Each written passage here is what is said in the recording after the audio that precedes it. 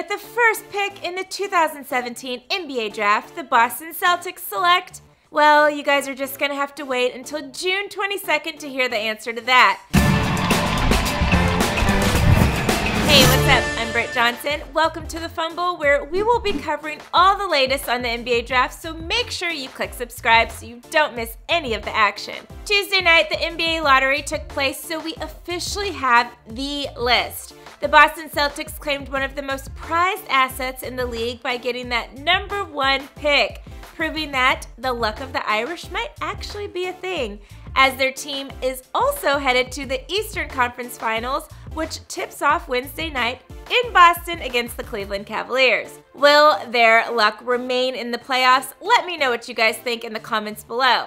Now, the Celtics owner actually didn't seem too excited about having the number one overall pick, but you know who was excited?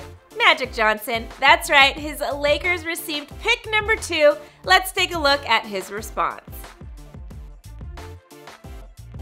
Now, I think it's pretty obvious that the Lakers are looking to draft Lonzo Ball, so unless something crazy happens, Lonzo Ball, welcome to your new team. The number three pick went to the Philadelphia 76ers, who actually had the first pick last year selecting Ben Simmons, the Australian freshman from LSU. Now, due to an injury before regular season even started, Ben didn't get to play the entire season. Let's take a look at Joel Embiid's reaction to receiving the third pick in the NBA draft. Picks with Sacramento.